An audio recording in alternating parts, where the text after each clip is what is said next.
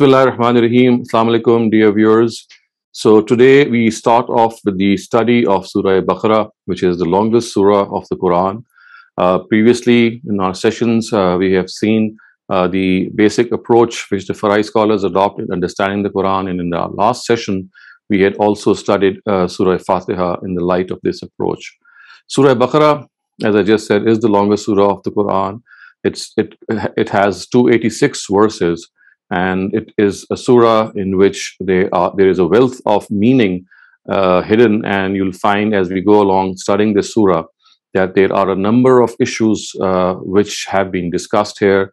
And although they have been discussed in the light of uh, the dialogue which takes place with the Almighty, or from the Almighty with the Israelites or the descendants of uh, Isaac, uh, which of course form the the first, uh, I would say, line of progeny of Prophet Abraham, uh, to which the deliverance of the message of truth was entrusted. Uh, but uh, as we go along the surah, we'll find a number of things which are so similar to the Ishmaelites or the Ummah, which was instituted in the times of Prophet Muhammad. So there are lessons that can be drawn directly. And as we shall see today, uh, some of the areas in which how Surah Baqarah uh, proceeds forth, how they bring us to a very, very uh, close understanding of people, the way they behave, especially people who are recipients of divine revelation, uh, once they are uh, given this responsibility, how they have behaved in the past and how this Muslim Ummah is required to learn a lesson from them.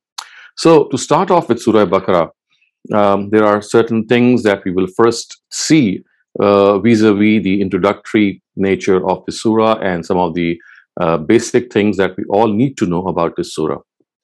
The first thing that we need to know about the surah is the name of the surah. So we have been discussing this before. I have uh, lectured in detail regarding the names of the Quranic surah and have uh, shown uh, there that as far as these names are concerned, except for the ones which have been kept by God, uh, the rest have been kept by the Sahaba and it was customary in uh, the times of the Prophet Muhammad that more than one name would be given to a surah. But let us first see the name which God has given the surah. The name which God has given the surah is actually Alif Lam Mim. The word Alif Lam Mim is uh, generally said to be a, a, a, an isolated letter. I mean, these are a group of isolated letters about which it is said that no one knows uh, their meaning. But uh, according to the research of Ustaz Hamiduddin Farahi, uh, these isolated letters, which are also called the huruf al-muqatta'at, uh, because they are placed separately and they are pronounced separately, they are actually names of the surah. What exactly is the reason that the surahs have been named such? He has also put forth a very plausible theory in this regard, and that is that uh, these letters that we find at the beginning of 29 surahs of the Quran. So we have 114 surahs of the Quran. So 29 of them begin with these abbreviated letters or these isolated letters. And uh, in the ancient uh, languages, like the Chinese alphabet, uh, we know that not only letters, they had uh, particular sounds which we would know them, they also qualified certain meanings. And uh, Ustaz Hamiduddin Farahi has suggested that uh, this meaning that we find uh, in, encapsulated in these abbreviated letters has got to do with what these letters used to represent in olden times. So, for example, he has shown that the word noon used to connote a fish. I mean, the, the, the in ancient uh, Arabic, the word noon, or the letter noon, I would say, connoted a fish. And we know that uh, the surah uh, Surah Noon. We know it's, it's a 68 surah of the Quran. And in this surah, the, there is a mention of fish, the fish which swallowed Prophet Jonah. And we know the letter or the words are La takun ka sahib al which says that don't be like this person who was a companion of the fish. So while trying to console the Prophet that he should not hurry and he should not be in a, uh, in a, in a hurry, just as uh, Jonah was, so you see, the word hut is mentioned within the text of the surah, which is, of course, the Arabic word for fish. And the surah begins with noon. So this was very custom, customary in, uh, in the times of the Prophet that and the name of a surah would be kept according to some of the incidents that would be mentioned in the Quran. So this is one example. Another example with Ustaz Hamiduddin Farahi has given is that of Surah Taha. So Ta uh, represents a serpent in ancient uh, language, in ancient Arabic language. And we know that the incident of the serpent and Prophet Moses is mentioned in Surah Taha. So the reason that the surah has been named so is because of the incident which has been mentioned in Surah Taha. Alif Lam Mim, uh, regarding Alif Lam Mim, he has also presented uh, a theory and he has said that how uh, these letters actually represent, for example, he says that the word Mim represents the uh, water wave and the word Lam actually represents the head of the cow. And we know that the incident of the cow has been mentioned in Surah Baqarah, uh, a little down the surah. And as was the Arab custom, that they would name a surah behind a certain a prominent incident or a prominent event that would be mentioned in the surah, the Almighty has actually done the same. So taking cue from how Arabs used to keep the name of a, of a, of, a composition, of a literary uh, compilation, he has done exactly the same. And by regarding it to be Alif Lam Mim, he is actually referring to the incident of the cow, which was mentioned in in uh, in the surah later on. So this also gives us a very important insight uh, regarding how names were kept in the times of uh, the Prophet Muhammad, uh, and how different it was from what we have, what our practice is today. So they, today, when, when we would write a book, for example, or a chapter, the name of the chapter or the name of the book would always represent or summarize the contents of what the book is all about or what the chapter is all about. But this was not the case in the times of Prophet Muhammad, and uh, so therefore, uh, the Almighty Himself actually adopted the same uh, same procedure and same methodology.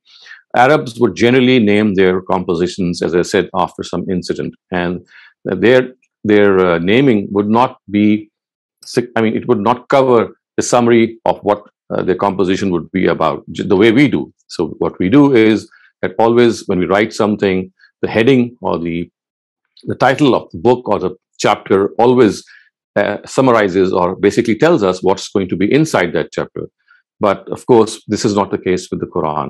So the incident of the cow is, is surely mentioned in Surah Baqarah, but in just three verses or three or four verses. So out of 286 verses, which have so many other uh, themes and subjects to discuss, uh, this one incident has been taken and uh, it has become the name of the surah. So this gives, gives us insight that when naming a surah, we uh, we should not be uh, led to believe that the name of the surah is going to always cover the contents. Yes, there are exceptions in which uh, the surah, whatever it reflects, I mean, whatever the name says, at times we do find that uh, the contents are exactly the same, but that, as I said, is an exception.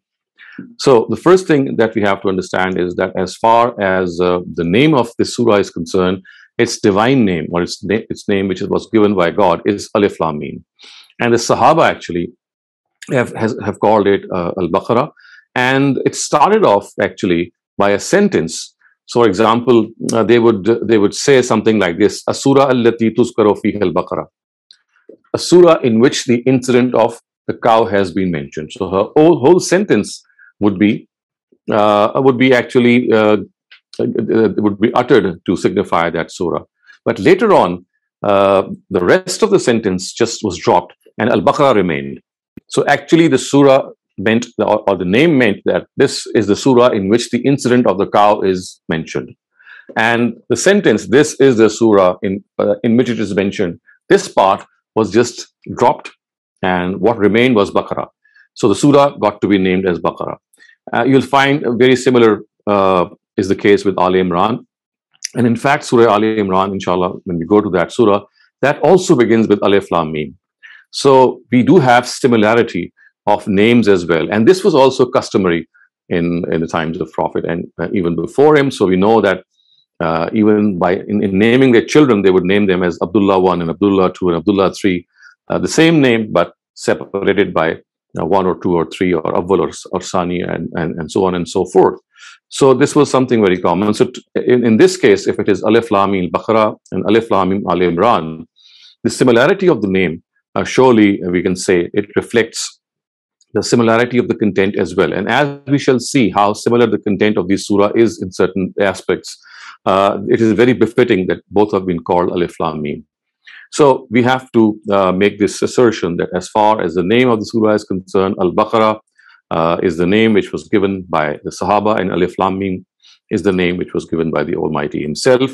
Uh, these all these abbreviated letters which are found in 29 surahs of the Quran, they are actually names of the surah, and we uh, can clearly see this because the surah is referred to this by this name in the very next verse. For example, when it is said Alif Lam Mim Zalikal Kitab, so it's, it's, Zalika is referring to Alif Lam Mim actually. That this name or this surah is is part of the book that was promised to be revealed. And as I said, uh, the theory which has been presented by Ustaz Amin Farahi, which I've just summarized, is uh, is uh, uh, I would admit it's rudimentary and it needs to be established further. But however much he has researched into it and found out some of the words which represent certain symbols, they are absolutely correct. But we are not, not very sure regarding a lot of the letters, but the letters which have survived or the name or the signification of these letters which have survived, they clearly show the link between the name and the content or, or part of the content uh, after which it is named. The second important area, uh, my dear viewers, when we study a surah, is to find out who the addressees are. And so uh, I have been discussing this earlier on as well, that uh, it is essential to know that the Quran is basically a divine sermon which is delivered by the Almighty. And in that divine ser sermon, we have this dialogue taking place between the Almighty and real characters of 7th century Arabia. This dialogue was at times a monologue, and something which came from the mouth of uh, God Himself. He uttered those words. And uh, of course, uh, we can say that all the words have been uttered by Him. But then the ascription of these words change from one person to another depending upon who is speaking. So we find the prophet speaking at times, we find a hypocrite speaking, we find the people of the book, we find the believers, we find Satan. So all of them, they are speaking, they are conversing with one another. So it's basically conver divine conversation that we can see. But the important thing that we have to understand here is that this surah has a primary addressee and it also has a secondary addressee. And if we fail to understand these addressees or we uh, we sort of uh, demarcate them as as something which the surah does not reflect, then we can really interpret the surah with, with serious uh, errors. So if we study this surah uh, as a whole, we'll find out that the primary addressee of this surah are the Jews of the times of Prophet Muhammad. And after him, after them, uh, the believers are addressed. And you can see as we go along the surah that the first part of the surah, around the middle, and it tells them what they had done as part of their misconduct. They had not carried out the responsibility of delivering the truth and uh, their uh, their breach in, of various covenants.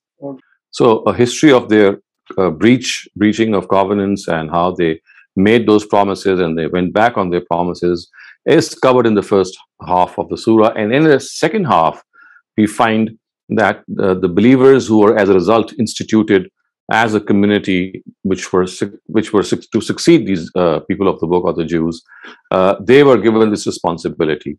And so therefore we'll see that overall it's primarily the Jews who are addressed and then after them the believers are addressed. But we also need to understand that these believers are they belong to the era of Prophet Muhammad They are right there in front of uh, the Quran when it was being revealed. And also the Jews which are being mentioned here are the Jews of the times of Prophet Muhammad. Uh, the need to say this is because uh, there are certain things which are specific uh, to the Jews and the believers and all those denominations which lived in 7th century Arabia, uh, to which the Quran had uh, has been addressing all of them. And it is essential to realize this. And if we don't, we might end up discussing and, and, and interpreting the Quran with reference to uh, the Jews of today, for example, or the believers of today. Yes, there are certain parallels that we can draw. Yes, there are certain connections, but we have to know that primarily it's talking to the Jews of the times of Prophet Muhammad. And as I said, the secondary addressees are uh, uh the, the after the uh, after the uh, Jews, the, the second primary addressee are the Muslims themselves. Uh, so just as we have these primary addressees, we also have secondary addressees of the surah. And these secondary addressees are Prophet Muhammad himself and the idolaters also. So they are also at times addressed. So remember, Surah Baqarah is a, is a surah which was revealed in Medina. And the Prophet had already migrated to Medina. Uh, the truth had been de- delivered to the, uh, in a conclusive way to the idolaters who primarily lived in, in Mecca. But we also had uh, the idolaters living in Medina, for example, the Aus and the Khazraj tribes, they of course uh, were the uh, the tribes uh, which were which belonged to the Mushrikun, and so therefore they were too addressed when the Prophet Muhammad had come to Medina. So he was also at times addressing the, the idolaters of the area of uh, of Medina. So the secondary addressees of the surah are uh, Prophet Muhammad himself, as we shall see, he is uh, at times. I mean, at the time the discourse stops at certain places and it turns to the Prophet Muhammad and then starts on with him. And similarly, you'll you'll find that the idolaters of uh, Arabia are also addressed, in particular the idolaters of Medina or the polytheists of Medina, uh, and they are also uh, directly spoken to. As far as the period of revelation of this surah is concerned, which again is a very important area, uh, this period of revelation is something that we have to understand. That is, of course, a surah in which the uh, it was it was, was uh, conclusive communication of the truth which was taking place uh, regarding the Jews and Muslims as far as they were concerned or the believers were concerned they were being uh, cleansed and purified. Their deeds and practices were cleansed were being cleansed and purified. So uh, the Medinan period basically can be divided into two broad areas. The first area is is uh, or the first phase is the phase in which conclusive communication is being done regarding the Jews and, the Christians of those times. And uh, once this has been done, and, and during this conversation and during this uh, uh, deliverance of the truth to the Jews and, and the Christians, simultaneously, the believers are also organized in the form of a separate entity and they are cleansed, and the beliefs and practices are, are given the right shape. And once this uh, period ends and ex it extends to a considerable period of time in Medina, we have the phase in which uh, what we call the onslaught was was was sought, was thought to take place against the uh, disbelievers of Arabia or the mushrikun of Arabia. But then, as I said, we will discuss that later. But the period of revelation of uh, this surah, of course, we know that it was revealed in, in Medina, but within Medina, it was revealed in the very first phase, which means that the truth was being conclusively conveyed to the people of the book, in particular the Jews, in such an ultimate manner that they could not deny it, uh, except if they would uh, uh take excuse in stubbornness. And this was like being deliberately denying the truth. The next thing that we also need to know is the paired relationship between this surah and the next surah. So we know that uh, both these surahs they form a pair. We have discussed this earlier on that the whole Quran has been divided into seven chapters. This is the first chapter. Uh, surah Fatiha is the only Meccan surah of this chapter. The rest are the Medinan surahs, Surah Baqarah, uh, Ali Imran, Nisa, and Maida. The next four surahs are all Medinan surahs. And just as Surah Baqarah forms a pair with the next one, which is Surah Ali Imran, Surah Nisa forms a pair with Surah Maida, which is the fourth and the fifth surah. So the first surah is Surah Fatiha. It is a unique surah. It is an independent surah. It does not have a pair. It's an exception uh, in the scheme of the Quran in which surahs are generally uh, found in the form of pairs. So Baqarah, the, so, so the, the pair of Baqarah is Ali Imran. Now, what exactly is the relationship of Surah Baqarah with Ali Imran?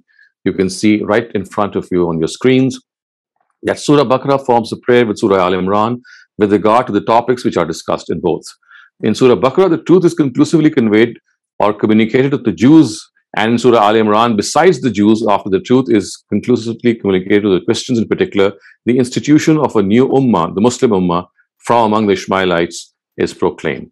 So, in both these surahs, uh, the institution of a ummah is proclaimed. That's, of course, the Muslim ummah. And while in the first book, uh, the first surah, the primary addressees are the Jews. In the second surah, the primary addressees are the Christians or the Nazarenes. Of course, the Jews are also addressed, but you'll see that there's a special stress regarding or special emphasis which relates to the to the Nazarenes or the Christians, Nasara to be precise. And this exactly is also the answer to that question that might have arisen in your minds by now, that why is it that both surahs are called Alif Lam Mim? I mean, both begin with the same letters and therefore both begin with the same name. The reason is that they are so similar in content that both conclusively communicate the truth, uh, but the difference is that one is talking more to the Jews and the second is talking more to the Christians. So, so this is, there is a slight difference, but at the same time, the similarity is such that the people of the book, which is, they form a single entity, they are the ones that are being addressed. Next, we are going to look at the theme of Surah Al-Baqarah, which is also very important. So the theme of Surah Al-Baqarah is to conclusively communicate the truth to the people of the book, of course, uh, in uh, Jews in particular, the institution of a new ummah in its place, and a mention of its obligations. So if you look at the whole surah, which inshallah we will do during the course of our study, that this is how the surah moves along. This is a single sentence which, which knits the thread between the various needles, so to speak, which are found in this surah. So if you if you would like to see how a surah progresses, how the surah moves forward, this sentence actually is a, is it, it summarizes for us what exactly is the theme of the surah. So first, it conclusively communicates the truth, which is of course uh, the uh, translation of the Arabic term itmamul hujjah. It, it does in itmamul hujjah on the people of the book. And once this is done, the obvious corollary to this is that the next people of the book, which are the Ishmaelites, which are the believers, they are given the responsibility because the previous people of the book, they were not up to performing their duties, so they were deposed. So a new uh, sunnah, uh, a new ummah was instituted, and it was not, not just mere institution. They were also, uh, I mean, they were also informed of what their obligations are. So this is the thread that runs through the complete surah, uh, which you can see is the theme of the surah. So when you study the surah, uh, you will corroborate the fact that yes, this is how the surah is progressing, and this sentence actually encompasses the contents of the surah. Next, we see the structure of the surah. Now, this is also extremely important. You see, the longer surahs of the Quran, they are divided into various sections and subsections, and this is something which is not uh, nothing new for us. For people like us who uh, are exposed to the to various authors of uh, of a very distinguished, uh, mm, uh, I would say, background, uh, it's nothing which is different from us because when we see books or when you write books and we study books, they are also very similar.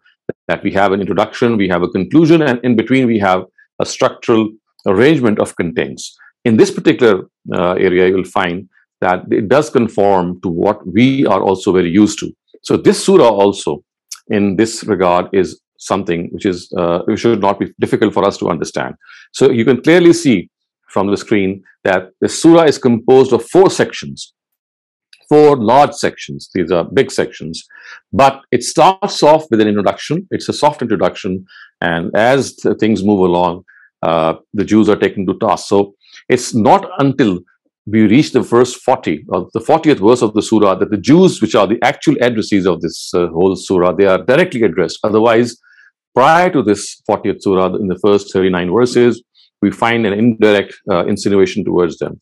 And then after we finish these four sections, we have the conclusion, which is composed of just two or three uh, verses in which the prayer uh, that some of you might be knowing uh, is mentioned from the tongue of the new ummah that once they have instituted in the place of the previous ummah, which were the people of the book or the Jews, this, this is how, O Lord, O God Almighty, we would like ourselves to proceed.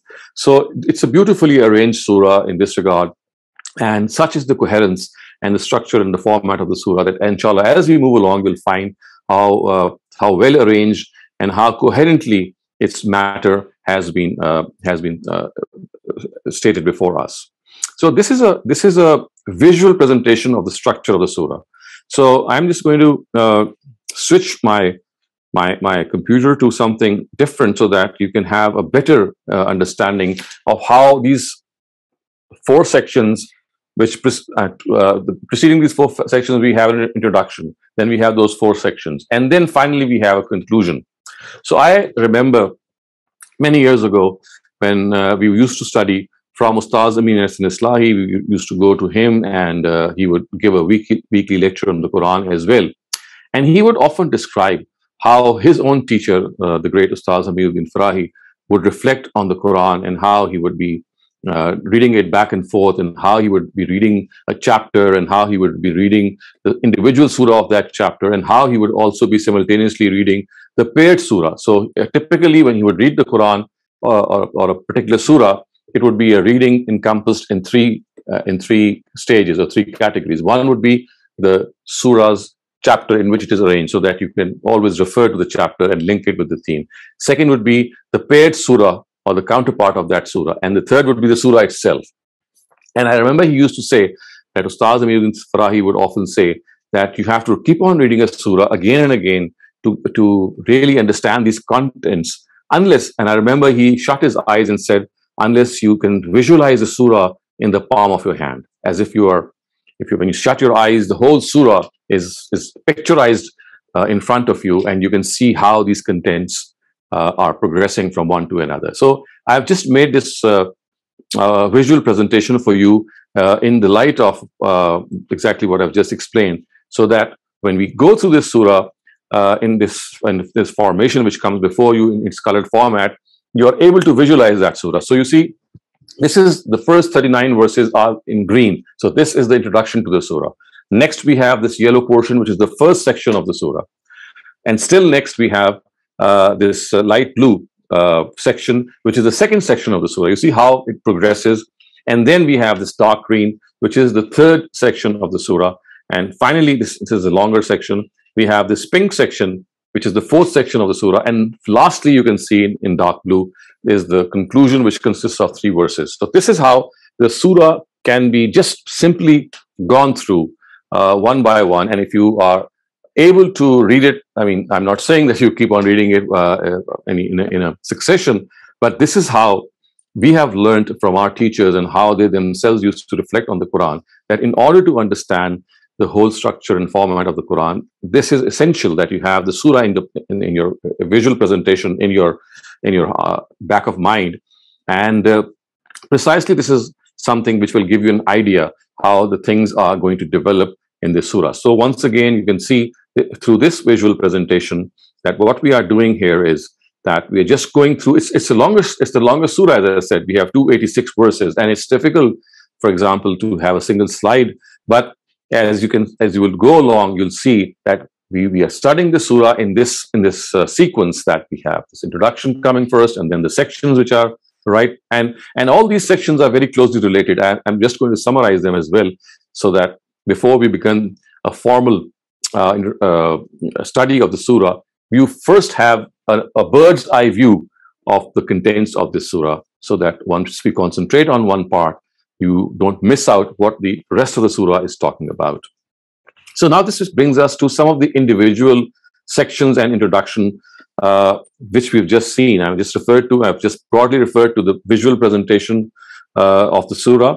Now you can see uh, from that as far as the as the details are concerned, that this surah, uh, which is of course composed of these four sections, it's, it has a beginning, it has a conclusion, uh, it concludes. So now I'm going just to uh, just to give you a very brief summary of how these uh, how the surah progresses, so that you can see from from your own self that these contents they can be they, they can they can catch your attention. And in one sentence, which I just said earlier on, that basically it's addressing the Jews and it's in enumerating their crimes, deposing them as a result, installing the Muslim Ummah in its place, and then informing them of its duties. So this is how it is going to progress. So the first section, of course, this the first section is not called, the section is called the introduction, is, is composed of 39 verses. It begins with the mention of those among its adversaries who shall accept faith and those who would reject it. The idolaters of Medina have been warned that this book of Allah has revealed the truth in its ultimate form. So remember, this surah is also addressing the idolaters of Medina, and I just referred to you that some of them were there uh, the Aus and Khazraj tribes, a, a, large part of them had accepted Islam, but still they were far, they were there uh, uh, who were to be addressed and reformed. So it would be extremely unfortunate for them if they are still led astray by the mischievous machinations of the Jews and thus deprive themselves of this great blessing, which is the Quran.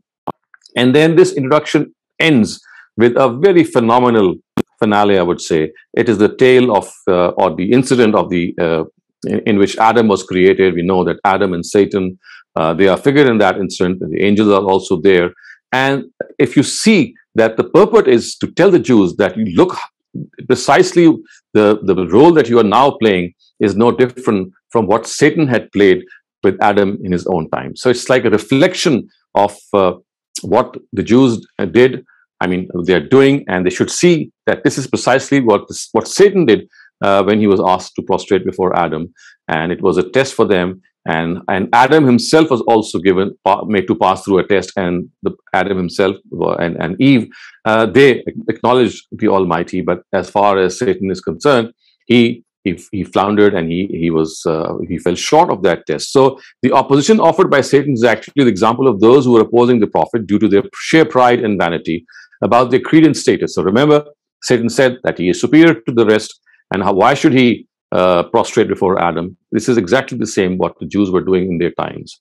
So in the light of this incident, Jews and their supporters have been explained that their malice, that that their malice and jealousy for the prophet and his nation is exactly the same as one shown by Satan towards human beings. So, and now this first section ends. Now, up till now, the Jews have not been addressed. They have been all been indirectly portrayed certain facts. And this again is a very powerful and a very important instrument which the Quran employs, and we also employ that first, without any, uh, I mean, without any recourse to who's being addressed, we start discussing that person without actually making him our addressee. Precisely this is what has been done here. And now that this has been done, now in the 40th verse of the Quran, which is which is the first section, I mean, which is the first verse of the first section of the surah, you see the verses, Ya Bani Israel, uskuru ni'mati allati an'amtu alaykum. It is now that the surah says, Oh Jews, or Israelites, or people of the book. So you can clearly see how subtle this uh, this address is and how it goes forward. So this section itself is divided into three subsections. Uh, the section is, starts from verse 40 to verse 1, 121. And within verse 40 to 1, 121, you can see three subsections. So one is from 40 to 46. The Bani Israel have been specifically addressed and urged to profess faith in the Prophet of, of Muhammad, to which their own scriptures so clearly testify. Remember, we know that he is an introduced prophet. They were waiting for him. And the Quran is just reminding them that, look here, you were waiting for, this prophet, and now it has arrived. He has arrived. So why don't you profess faith? It's like uh, again, uh, done in a very stern way because, I mean, they didn't need any introduction. They already were introduced to the coming of the last messenger. So, in the second subsection, it has been explained, first of all, that a person shall be rewarded in the hereafter on, on account of faith and deeds and not on the basis of his association with a particular family or clan. Because you see, the Jews thought that they are the chosen people of God, and hence whatever will happen to them uh, may happen for a few for a few days. They will say, "ayyaman ma'dudat," But then, of course, uh, paradise is their abode.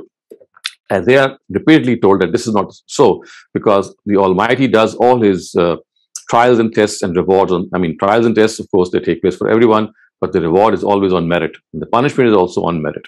This is what they're repeatedly told. And in the third subsection, they are actually reminded of their history, that who they were, how they had pledged to uh, to honor their commitment towards the last prophet and how they were related to Abraham himself and how of course uh, uh, they did not uh, follow what he had uh, asked them to do. So this first section of the surah is actually a build up towards their towards their follies. It tells them that how they had uh, had progressed in as, as an ummah and how they now are showing themselves as, as, a, as some something as, as, a, as a mass which so poorly instituted regarding its responsibilities.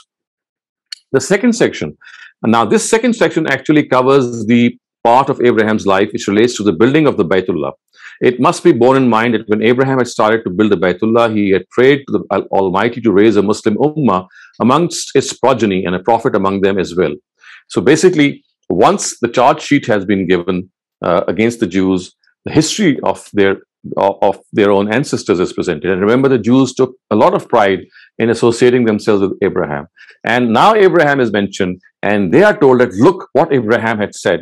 He had prayed that a last prophet should should be uh, should be sent from amongst his progeny, the Ishmaelites. And so remember that this is what what he did. And if you associate to him, if you think that he is your forefather, then you must not forget that he had predicted or prophesied the arrival of the last prophet in the Ummah. And as you reach verse 139 and 140, which is uh, roundabout here in the second section, you will find a shift in the surah. And now slowly the believers are being addressed. Once the charge sheet had been given to the uh, to the Jews, and they were told that they had breached their promises, they had gone back on their commitment uh, regarding their their own uh, their own promises, and also their association with Prophet Abraham, uh, regarding which uh, he had predicted the arrival of the last prophet. And as a result, they were to show respect and honor that last prophet. They have again gone back to them. Now they don't deserve to remain in that position. So it's like in verse 140 to 141, uh, you find the shift and you find the uh, the arrival or the announcement of the arrival of the last of the final ummah in the words وَكَذَلِكَ جَعَلْنَاكُمْ أُمَّةً وَسَطًا which means that in this manner, just as we have changed the Qibla, of course, this is another topic which will be discussed in the surah, just as the Qibla has been changed, now this responsibility is given to you, O believers. So here you find the surah taking a decisive turn.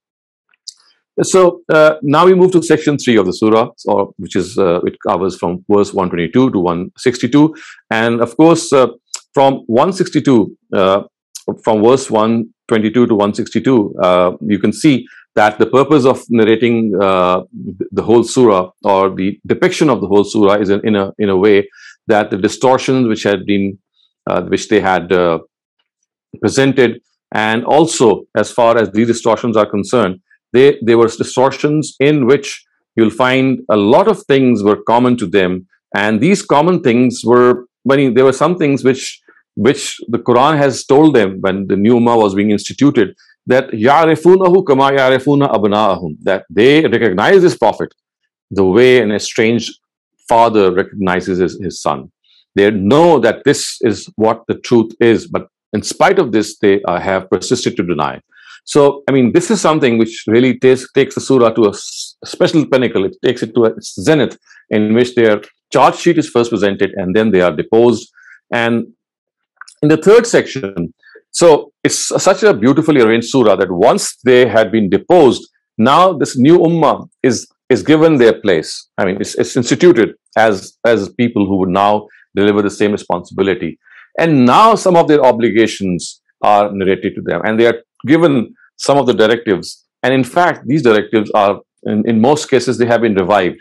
They were already present as an established sunnah of Abraham. But of course, these directives are given in a certain sequence so that once again, Muslim Ummah is reminded of its, of its uh, obligations. It is told that, look, the, you have just seen the charge sheet, you have just seen the follies of the previous Ummah and how they made a mess of the responsibilities and how they associated themselves to Abraham and did not listen to what Abraham had said regarding the last prophet. Now that they have gone and you are in, in, in their place, do remember that these are some of the uh, some of the areas of Sharia which are being revived, and they were present in the previous Sharias as well.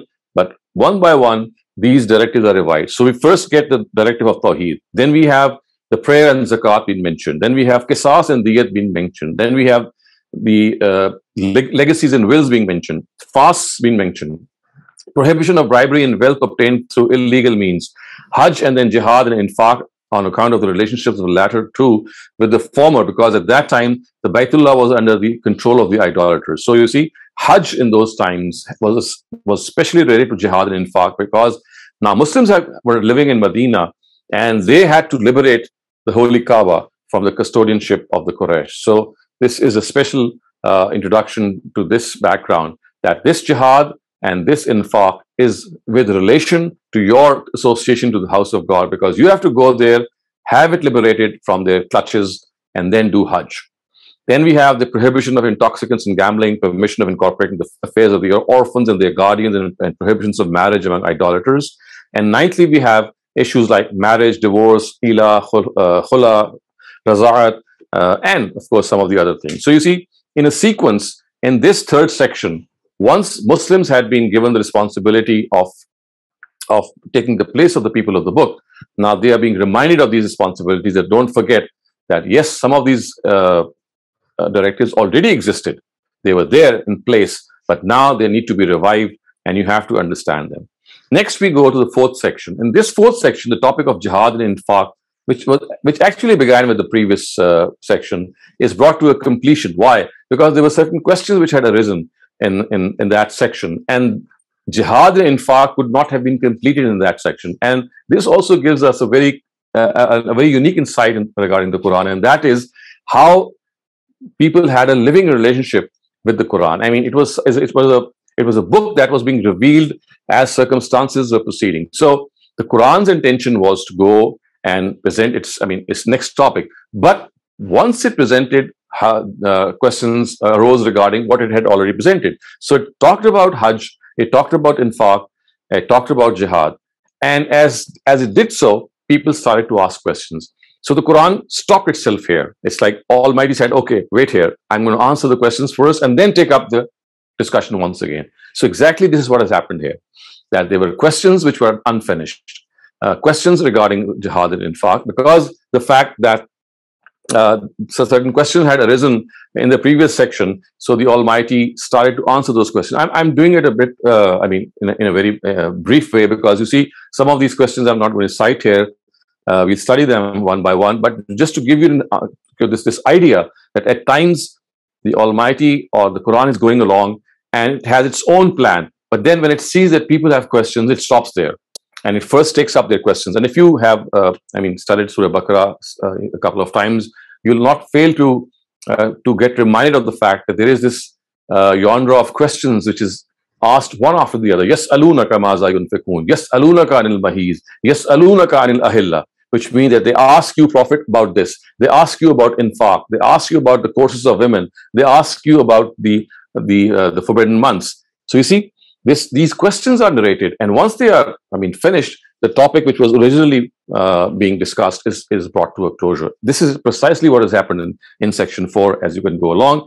The fifth section, uh, or the, I, I can say after these four sections, we now have the conclusion in which now the Ummah is given this responsibility in the form of a prayer. It is said that yes, they have been deposed, you are now in their place. This, these are some of the directives that have been given. And once this, these have been given, you will not be able to fulfill these responsibilities unless you have God by your side. So that beautiful prayer which with which Surah Baqarah ends, Farfu anna, waqfir lana, warhamna, anta maulana, fansurna alal qawmil kafirin, on which the surah ends, is a prayer, it's a supplication which is uttered uh, through, through the tongue of this newly instituted Muslim Ummah, so that they are so that to make them realize that in spite of all their efforts, unless they have God's help, they would not be able to succeed. So, dear viewers, uh, this is uh, a brief summary and also how the sequence within the surah has been followed.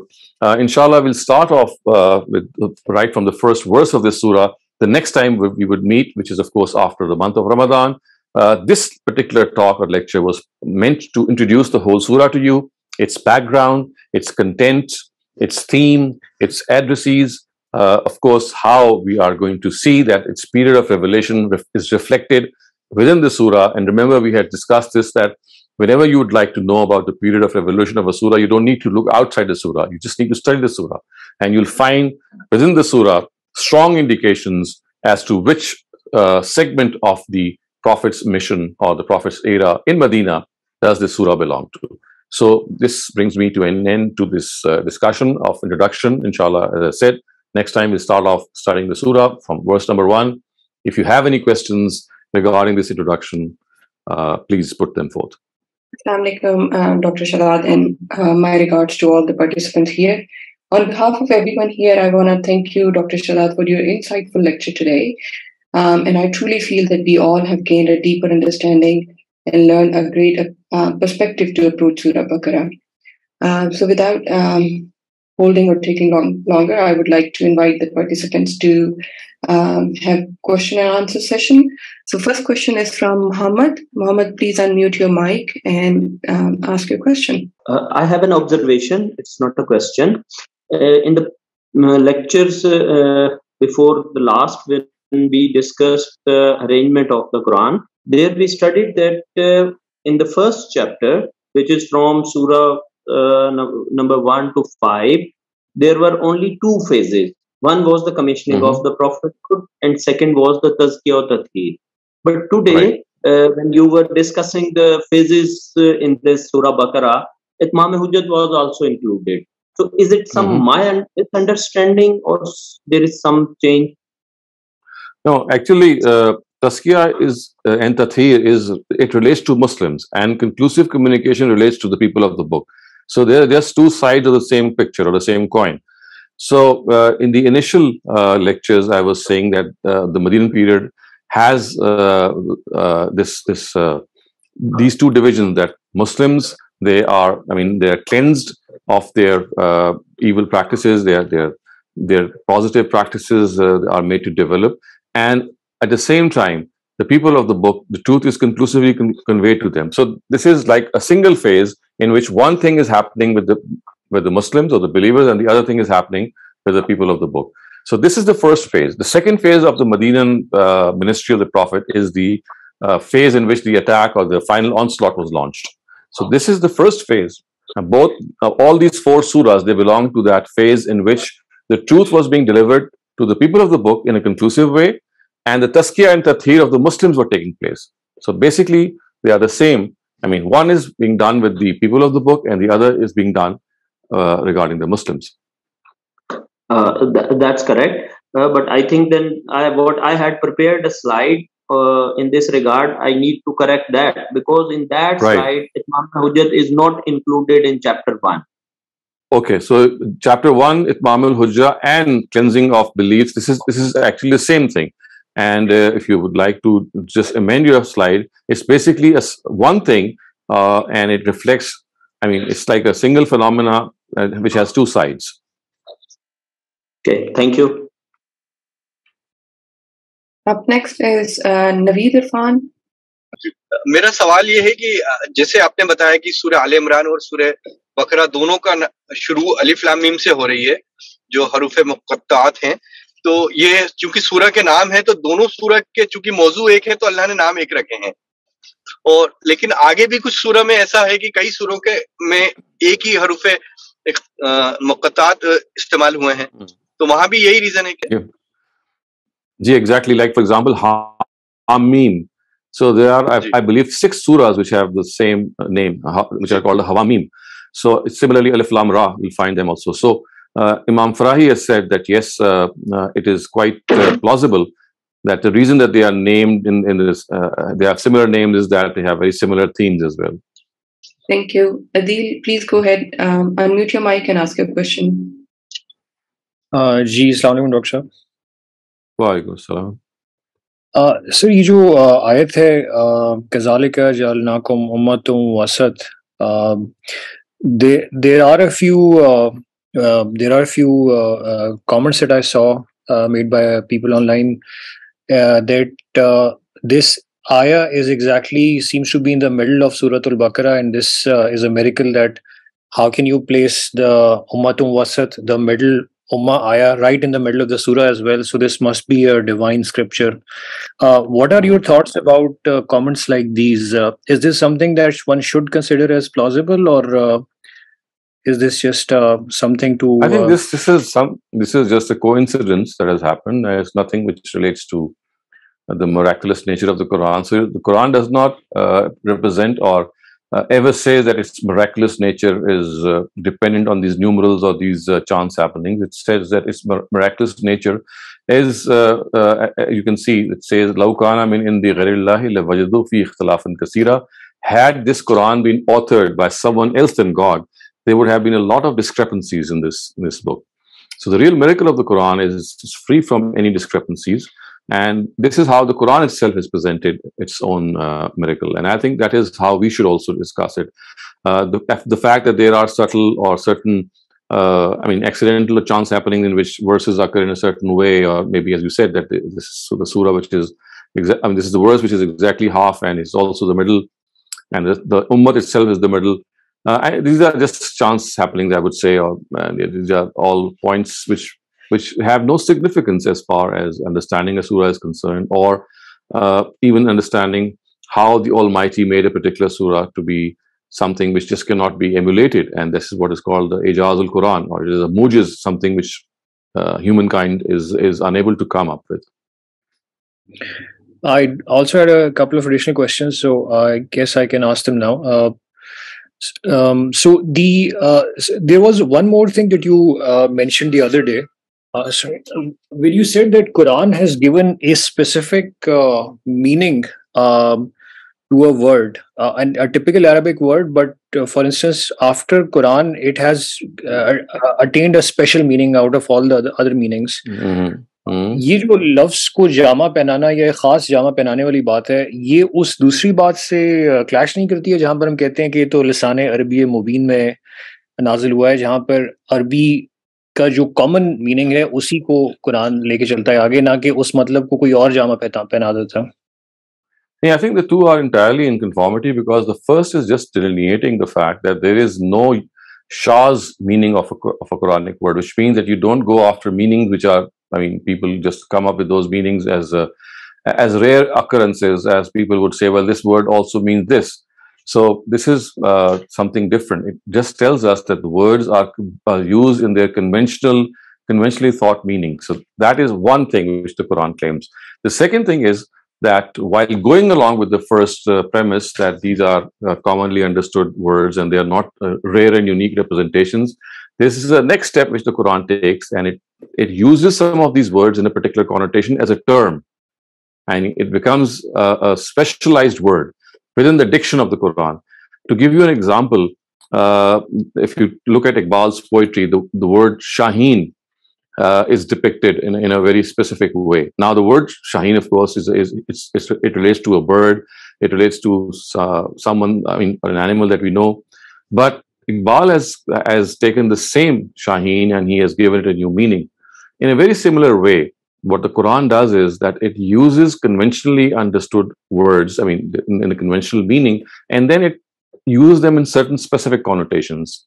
And people know that these are specific connotations. So that's, for example, the word al mushrikun. So the word mushrik, in, in its common connotation, always refers to the polytheists, uh, to people who uh, intentionally uh, associate partners to God. But when the Quran uses al mushrikun, it's not using it for the Hindus or people uh, of religions that also commit polytheism.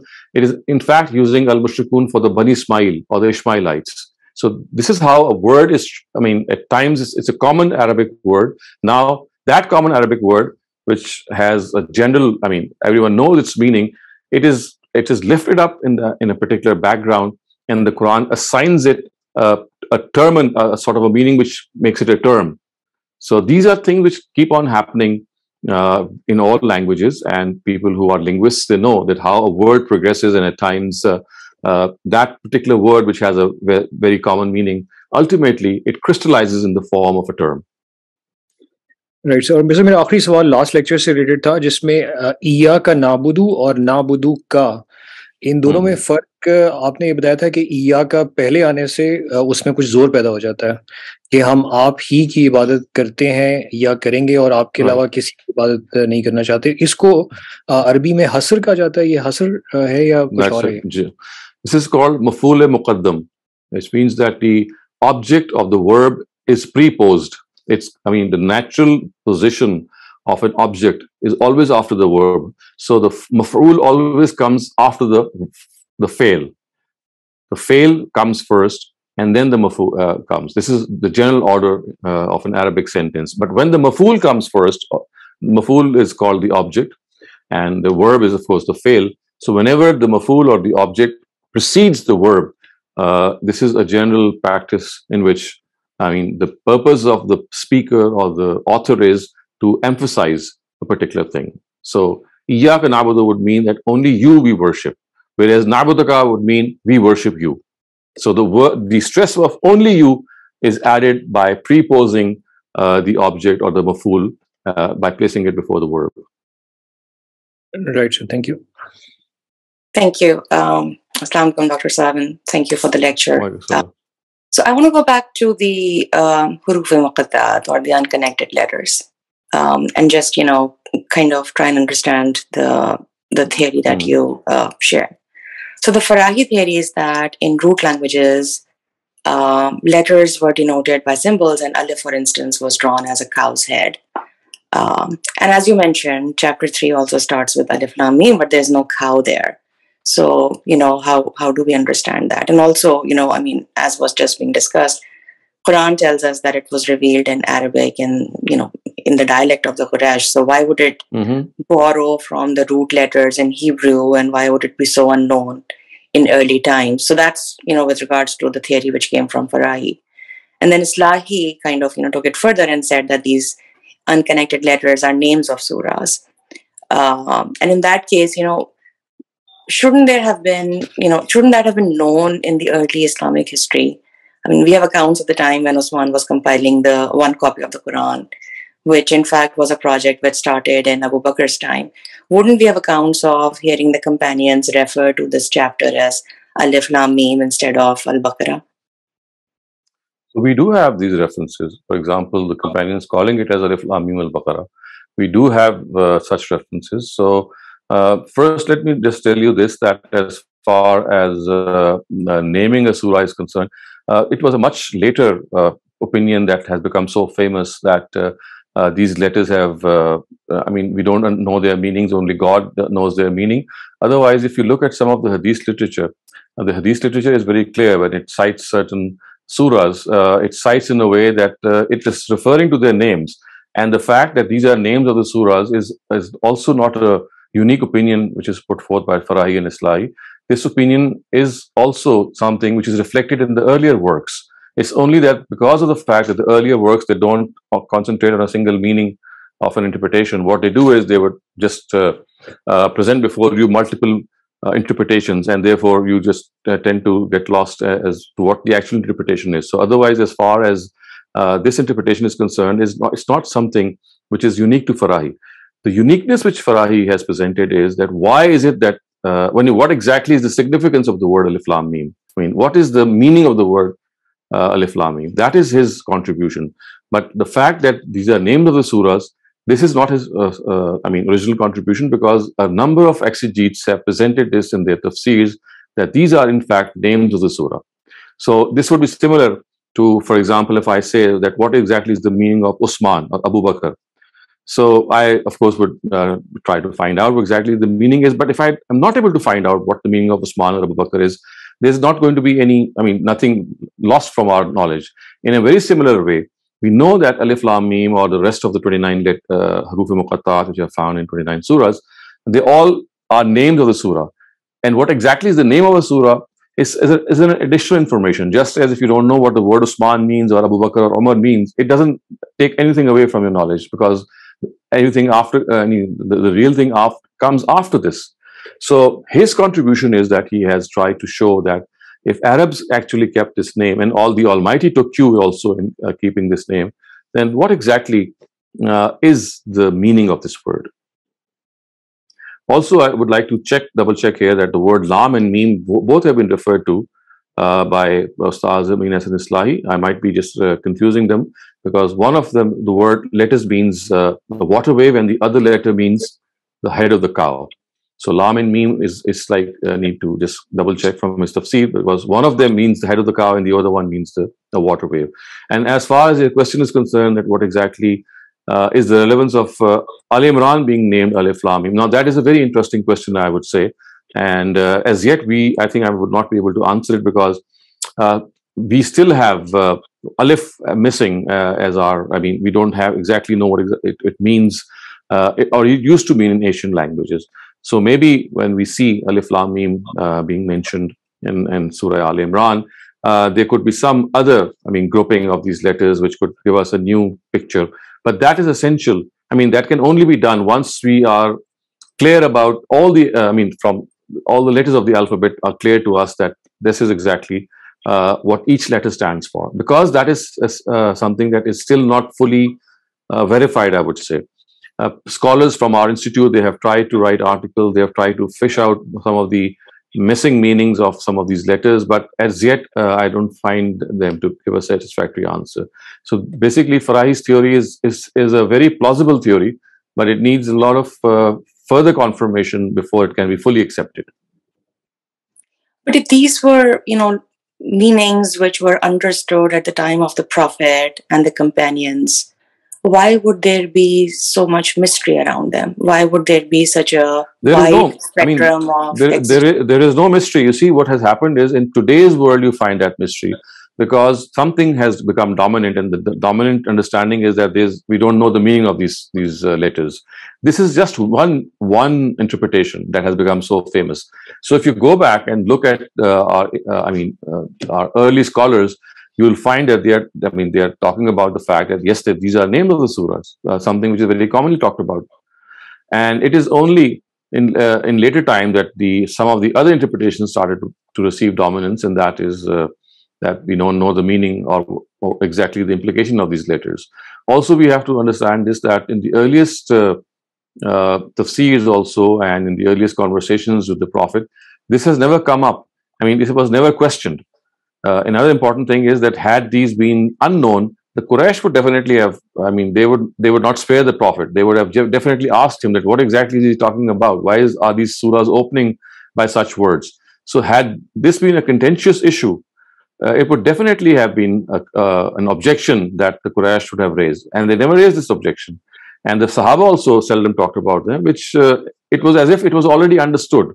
The, the only thing is that why is it that this is these surahs are named in such a fashion that uh, sim, I mean letters which are not connected, which are disjointed, they are used as names. So Farahi's is contribution is just to to to theorize that what, what exactly is the meaning or connotation but as far as the name itself is concerned, as I said, if you read the earlier scholars and earlier tafsirs, you'll find that this is something which was well known to them. Okay, thank you. Thank you, Annie. Um, we'll take the next question from um, Tariq Javed.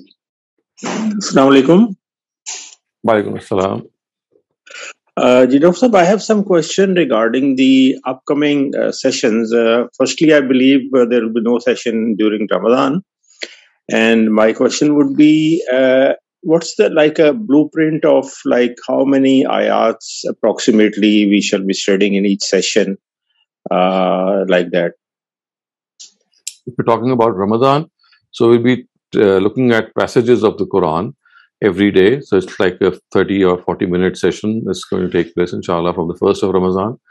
Uh, but if you're talking about the Surah Baqarah and how we will uh, start to study it, I, um, it's difficult for me to say the number of verses uh, that we are going to study each time. But uh, I mean, think it would become evident from the first few uh, sessions how how we are able to move along. But if you're talking about the Ramadan session, I said we will select from the Quran important passages which deal with self improvement. Okay, but uh, then is it possible, like uh, that, before the start of the session, uh, we get a message like uh, in the upcoming session we'll be uh, studying these verses, so that we can do some advanced reading on that uh, those verses. I think we, we we can try if we, we will we surely try if it is possible, because this is to be done every day. So might not be possible uh, every time because i do the selection on the spot. I mean what i mean on the spot is just just before starting the session. So it might not always be possible but we'll try as much as possible to let you know and uh, uh, the structure of uh, the study would be uh, following the uh, Sir Ghamidi's structure that he groups various verses into paras like every para has like two, three, four, five, six, seven verses. So, so we shall. Actually, our format would be that we will be uh, studying some of the Quranic verses and deriving uh, its message vis-a-vis our own personality and character development and uh, and enhancement of our spiritual fodder. So it would be, I mean, it's not. It would be more of a spiritual reading of the Quran in which instead of concentrating on its grammatical or its uh, linguistic aspects, we would be concentrating more on the message. Mm-hmm. So, so uh, I mean, uh, um, there are many uh, verses uh, in the Quran which uh, Sir Ghamidi philosophy that some of them are not applicable today. Uh, they were applicable to the people at that time. So we shall also be highlighting uh, such differences while we. No, we will not be because you see, when we are talking about uh, uh, particular passages which deal uh, with self improvement, these are passages which have a universal appeal. They are not specifically related to any particular group of people or to any particular time here. So these are like universal uh, message uh, bearing passages. So, so, so our, our our focus would be like, what is the guidance for me uh, or for us? Right, Uh, right. in, That in is- this, that is correct. this- this- How I can become a better person? uh, How I can become a better person uh, by by by understanding the basic crux of the message of this particular set of verses. Mhm. Great. I think that would be an excellent. Uh, Okay, if there are no further questions, then inshallah uh, we'll resume this study right after Eid, and uh, inshallah during Ramadan we will be looking at the Quran in a different way, and inshallah hope to see you all all the best. Khuda Hafiz.